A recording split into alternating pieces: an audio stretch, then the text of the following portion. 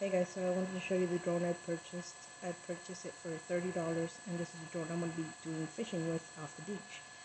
I'm going to tie something from here to here and put a little like close, I think they're called clothespins, I'm not sure. But I'm going to tie the line there and just let the drone fly away with uh, the line and the lure. Alright, there you go, it works. I got it for $30.